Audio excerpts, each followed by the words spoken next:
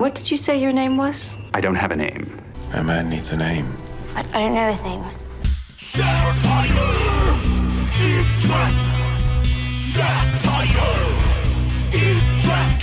You're Dax. Jadzia Dax, how did you know? I know. It is known.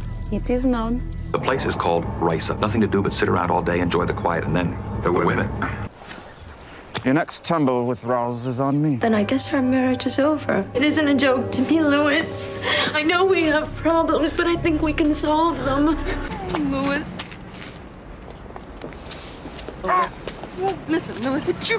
I'm hurting, baby. I just need a shot. Please. Tell me, Dad, have you killed yet? Shame on you. Shame on you. Shame.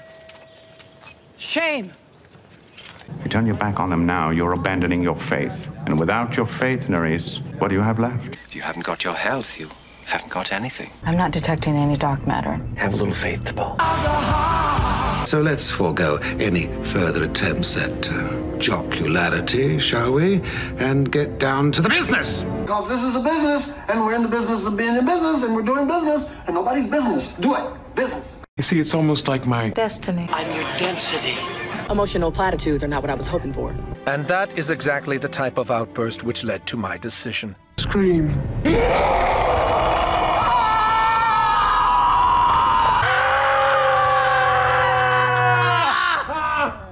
When a Klingon can no longer stand and faces enemies as a warrior, time for him to die. You must help me kill myself. I broke my back picking up a peanut. I am the very model of a modern major general. I've information, vegetable, animal, and mineral. I know the kings of England and I quote the fights historical from Marathon to Waterloo in order categorical. You are the very model of a modern major general.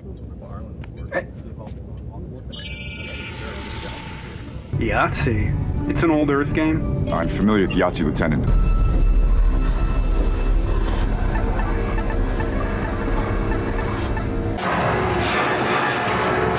You're terminated.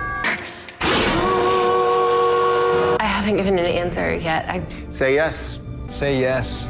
Say yes. Say yes. Don't you see what this child is saying? He's saying we all broke the dam. I broke the dam. I broke the dam. I broke the dam. No, I broke the dam. The data wasn't clear on why Omega stabilized in the last few seconds. I guess we'll never know for sure what happened this Christmas Eve in Central Park.